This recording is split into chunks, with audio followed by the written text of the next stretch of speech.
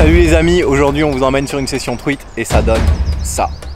Ouais, j'ai- j'ai j'ai regardé, je me suis arrêté au pont. Ouais, ouais. Oh là là, oh les couleurs, oh les couleurs. Oh je l'ai, je l'ai, raté, deuxième fois.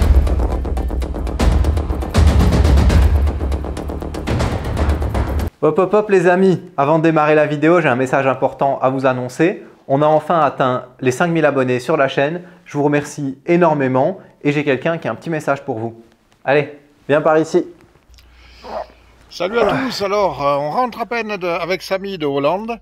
On est allé tourner euh, des vidéos pour la chaîne et qu'est-ce que j'apprends à mon retour? Vous êtes 5000 à nous suivre, ça fait super plaisir franchement. Euh, la croissance de la chaîne est au top et avec vous, on voudrait aller beaucoup plus loin. Nous, on s'est fixé avec Samy un objectif 10 000 abonnés et pour débuter cet objectif, on va vous faire participer à un jeu. Mais euh, comme moi les détails, c'est pas mon truc.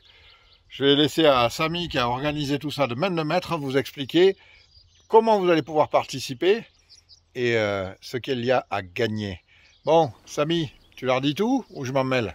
Bien sûr, Fred, je vais leur expliquer, pas de souci. Bon, les amis, comme Fred vient de vous dire, on a atteint les 5000 abonnés sur la chaîne et du coup, on a décidé de faire un jeu concours. Et on va pas faire comme d'habitude, on a ouvert une page Insta LMAB France et Belgique que vous retrouvez ici dans la description de la vidéo. Et donc, pour participer au concours qu'on va faire, c'est simple. Vous allez sur la page Insta, vous vous abonnez, vous mettez euh, un commentaire sous la publication dédiée au concours. Et qu'est-ce que vous pouvez gagner avec son concours? C'est très simple. Une journée de pêche avec le capitaine, avec moi, probablement en vidéo.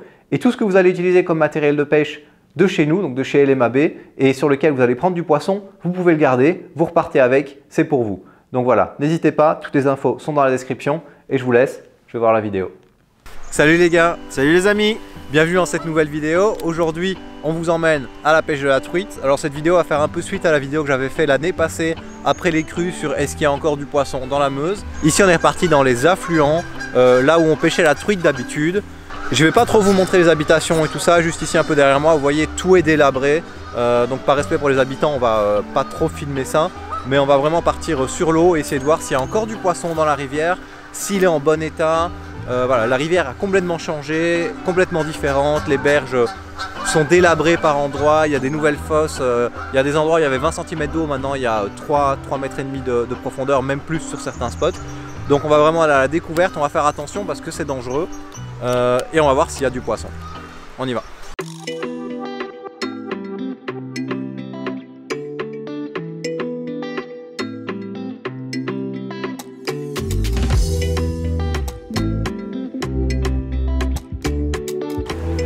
Bon, ici on commence la session sur une première partie du parcours. Euh, je commence euh, avec un petit leurre souple, un petit perchade, coloris bien bien flash. Même si les eaux sont claires, ça m'a bien servi. Et puis euh, je pense que plus tard dans la journée, euh, on m'a dit que euh, vu qu'ils travaillent sur la rivière, ils vont démarrer les, les machines, ça va faire de la boue, l'eau va devenir vraiment super super sale. Et dans ce cas-là, on passera sur des grosses cuillères qui vont émettre beaucoup de vibrations, des coloris flashy, tout ça. Mais tant que je peux pêcher au souple, là, j'en profite.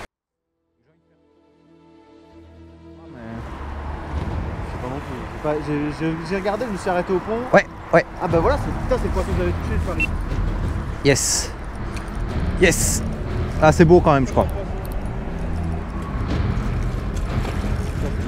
C'est une belle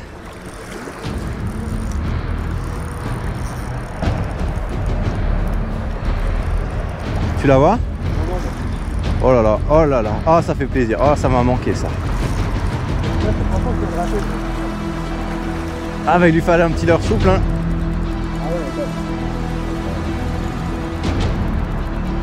Oh, c'est une pario, yes.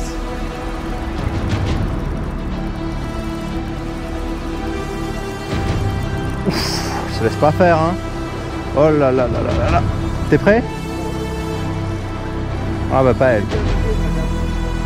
Un gros sans ardillon, euh, tu serres les fesses quand même, hein. Jusqu'au bout.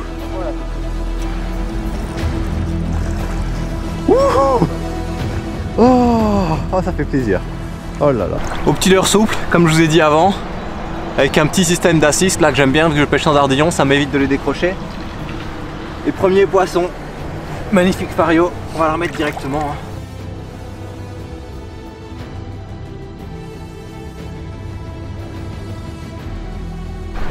Premier poisson de la journée après euh, une demi-heure de pêche plus ou moins. Même pas un quart d'heure. Ouais, un quart d'heure peut-être. Il fait encore super froid, les eaux sont encore claires, donc les machines n'ont pas encore commencé à travailler. Je suis content de voir qu'il reste encore de la vie sur la rivière. Et en tout cas, elle était euh, en pleine forme, pas très grasse, mais on est en début de saison. Elle avait pas de parasites, elle avait rien. Elle a vraiment bien tapé, elle était vigoureuse. Je suis super content. J'espère qu'on va avoir d'autres poissons. Mais en tout cas, ça me rassure vraiment pour la suite. On continue. Ouais, ouais, mais là où il y a le mec qui pêchait, genre en poisson. Putain, incroyable. Poisson. Oh, celle-là, c'est vraiment grave. Je, je pense pas, je crois qu'elle est plus petite. Hein. On va vite voir. C'est plus nerveux en tout cas. Tu crois? Ouais, non, il commence à pas se laisser faire là. Oh, oh c'est beau. Ah, j'aime bien voir ce que je vois là. Oh là là, oh les couleurs, oh les couleurs. Oh, magnifique, magnifique. Dit, la femelle, magnifique. Oh là là là là là là là Deuxième poisson, quasi genre deux minutes après, 5 mètres plus haut, toujours sur le petit barche. C'est le mâle, hein, tu disais. Ouais. Genre que j'aurais fait la femelle et maintenant que c'est le mâle, on va le relâcher direct. Hein. Vraiment un beau pépère. Combien tu dirais? 65 à mon avis. Ouais, vraiment magnifique. Magnifique, content de voir qu'ils sont en pleine forme. Je suis heureux.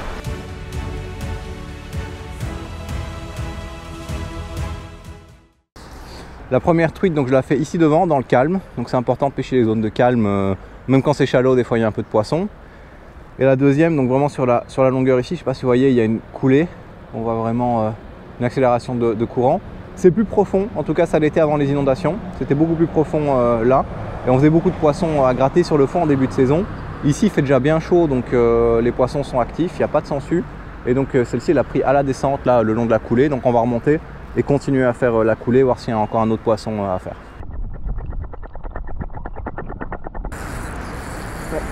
Non. Non, oh là là. Non, non, Si Ça bouge hein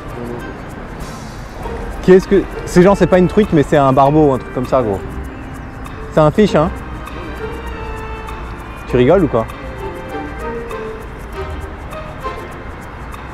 Mais oui c'est un fish.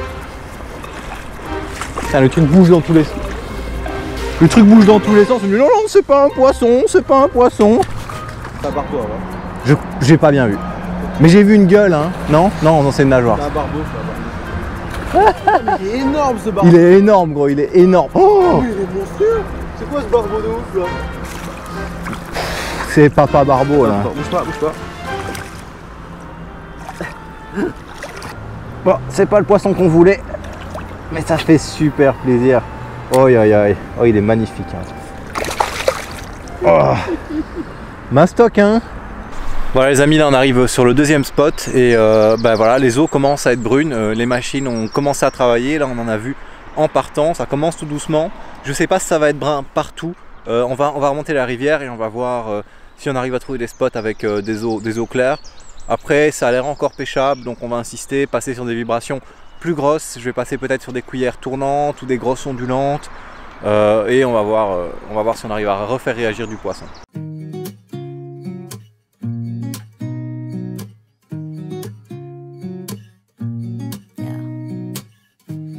The good days, the sorrows.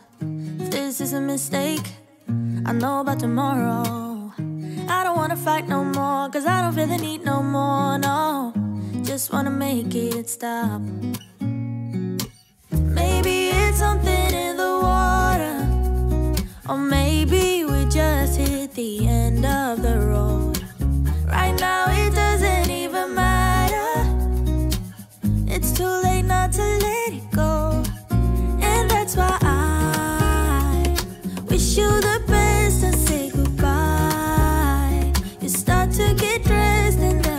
Mon leurre dans l'eau et là je l'ai cassé dans la berge en face.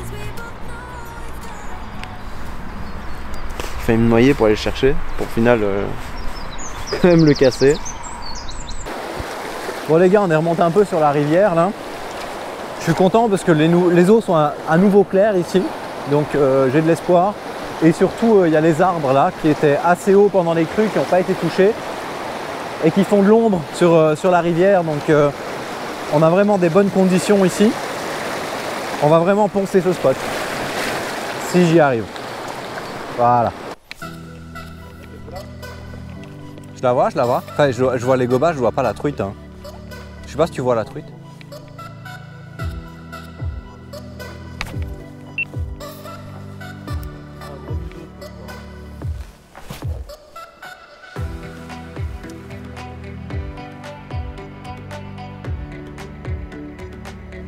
Je l'ai, raté, raté. Ouais.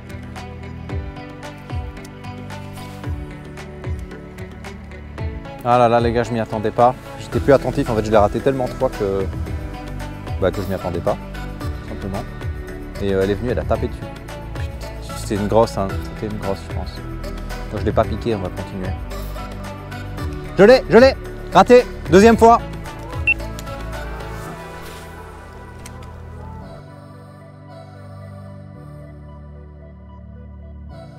Bon, après toute une journée de recherche, on arrive sur le coup du soir, là on trouve du poisson actif. Par magie, j'ai réussi à faire réagir une truite qui avait l'air vraiment d'être focus sur des insectes ou des crasses à grignoter en surface. Normalement, il faut être moucheur pour prendre ce genre de truite. J'ai déjà remarqué qu'au leurre, c'était très très difficile de les faire réagir. Ici, j'ai réussi. Coup de chance. Malheureusement, euh, bah, j'ai pas validé la touche. Ici, on a une deuxième qui est en train euh, de gober. On va essayer de la faire sur la même technique. Euh, je peux laisser tomber, elle est pas du tout sur, euh, sur du, sur du leurre là. Elle gobe vraiment les insectes.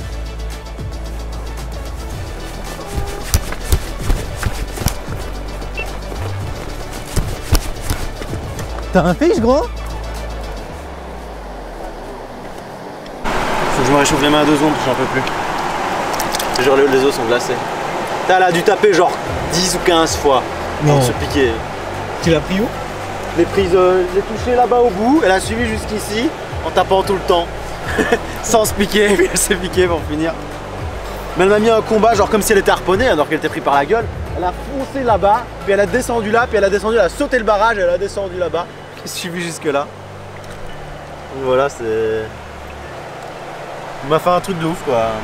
Elle est quand même assez jolie, mais elle a vécu, hein. elle a des belles traces de. La queue, l'a abîmée, tout ça, c'est c'est quand même. Ouais. un poisson qui a vécu, hein. Ouais, ouais. Moi, je vais la remettre à l'eau là. Allez. Voilà. Voilà. J'ai quand même fait un poisson sur la journée, hein. L'air de rien. Oh, le barbeau, le barbeau. Ah oui, le barbeau, le barbeau, ça harponné. J'ai pas le compter quand même. Ça là, c'est pris par la gueule, quoi. Ça, ça compte, quoi. Bon, bon, bon. Vu que la fin de journée là était pas fameuse du tout, on a décidé de faire une petite expérience là et d'y retourner euh, le lendemain pour voir si c'était vraiment les eaux claires euh, qui, qui font a de l'activité au niveau euh, au niveau du poisson. Donc là, on va faire un petit test, un petit test matinal et, et voir si on arrive à en valider d'autres. Non, non, c'est une truite, c'est une truite. C'est une truite.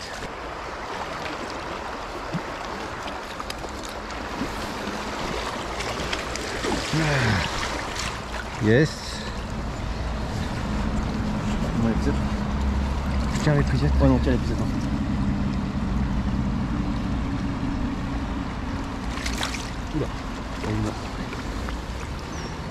Tu sens ta canne? Ouais.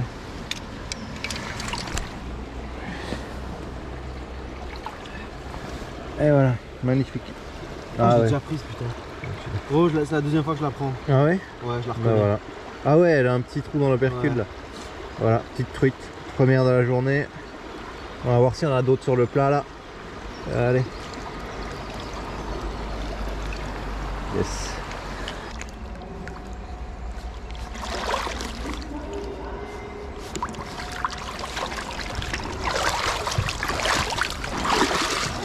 Ouais, t'en as une grosse? Non.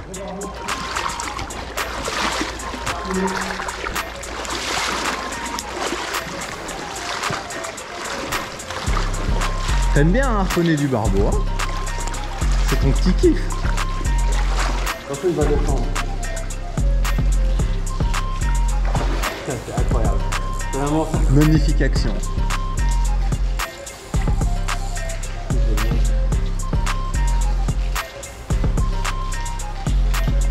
On a du barbeau. Ah non, mais t'as. Ça, quand ça reconnaît, ça se mieux. Hein. Tu maîtrises hein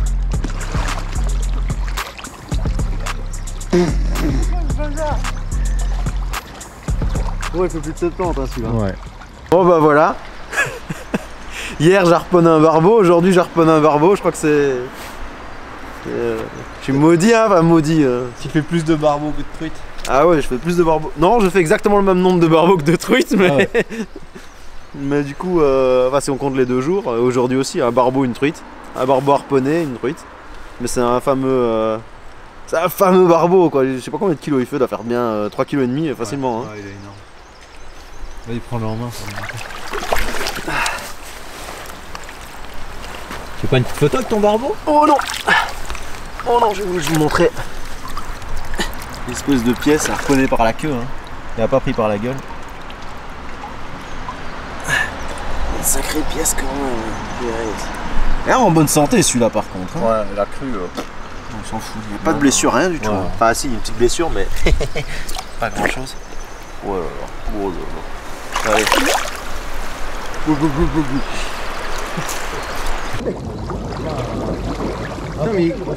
on est dans un bain bulle, hein.